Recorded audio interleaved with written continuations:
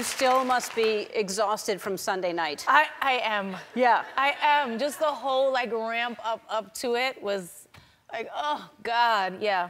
But Yeah, It was great. It was great. It A-Rod was looked like of- he was. He, he looked like he had never seen a rehearsal of that because he was just like, "Oh my God!" Like No, afterwards. he didn't actually. He he came to one the day before, but once you see it with all the costumes Right. and everything, it's just a whole different thing. Yeah, Speaking of costume. yeah. That's how you keep him at a distance. You wear that hat. He's like, I'm gonna have to like walk, you know, 40 yards away from you. I'm like, I'm sorry. I know. You just have to lean back like that. That attitude. He's a Uh, good sport. But you were, uh, oh my God, you, Jennifer, you were incredible at the Grammys. Thank Uh, it was like,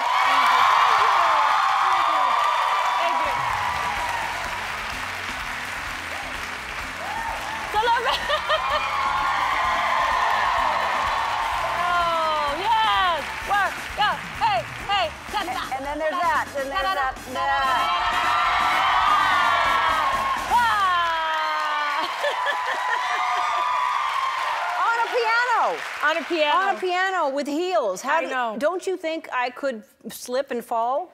Yes, but then I think, wouldn't it be cool to dance on the piano? Yeah, so I just go for it. yeah. It was Yeah. incredible. And then there was a costume change. There was two costume changes. Yeah, I was like, okay, in five, six, how much time do I have? Five, five, five. I- We can get three costume changes in there. I was watching someone like under. I was watching because I knew the dancers were in front of me. I was watching someone scramble from the piano. Listen, I hate that they got that shot. Like, who goes to the back when they know that I'm changing? Right. Like, don't go back Right. there. They're like, oh, let's go back here and Yeah. shoot this. the girl crawling under the piano to change her shoes. Yeah, it yeah, was. Uh, it's all right though. We have to was see a little bit of the. the yeah, it's real. It's, yeah, it's it's live. But it was unbelievable. You Thank just, you. I, I just, you never. I say this to you every time I see you, but you're just like the hardest working. Uh, and most entertaining person. Like your show in Vegas was incredible, and every time I see you, Thank so yeah, you Thank you just, so I- much. 49. Yeah, I know. Thank you. I mean, and you're 49. I know, Like say, that- no, say it again. I'm 49. Yes, I have a, I have a big birthday coming up this year. Yeah, you do. I do. Yeah, well, we'll it's find out. which- nuts. I, I still. I, anybody else still feel like you're 16? Like. Yeah, yeah, I do. I do. do. I do. I do too. I, Yeah. I don't think. That I'm like, I feel like I'm in my like 26. yeah, yeah, I understand.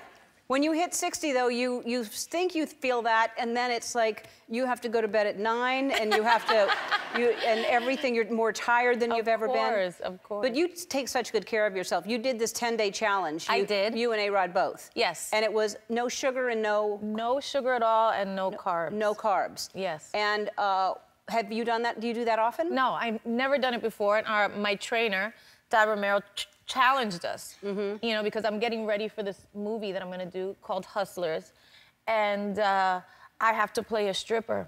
and so, I know. Yeah. I know. So, you know, I'm sure that the outfits are gonna be, so I'm, I'm like getting ready for that. And he's like, you know what, let's do something. Let's like take it to, because I've been working out, you know, I Right. work out a lot. I try to stay healthy. And he's like, let's, let's do something to like move the needle a little bit. And he said, you know what would be great? Let's just cut out, because he knows I love, I'm a sugar and carb, like, that's most of my diet. Yeah. And he's like, well, let's just cut it out. I was like, completely? Like cold turkey?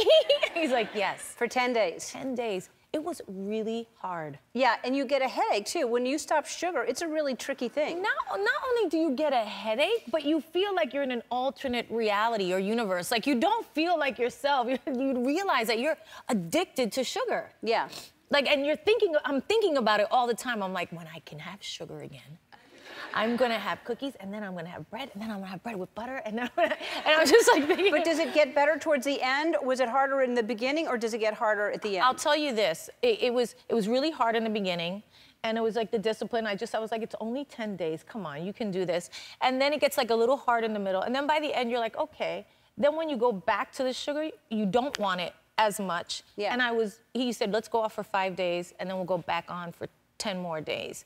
And I was like, you know what? I, I want to do it again. wow. I wanted to do it again. So it's something that you, I guess, get used to a little bit. Well, when you, I saw you do that, and so I told our chef, I said, I want no carbs, no sugar. Please don't do that.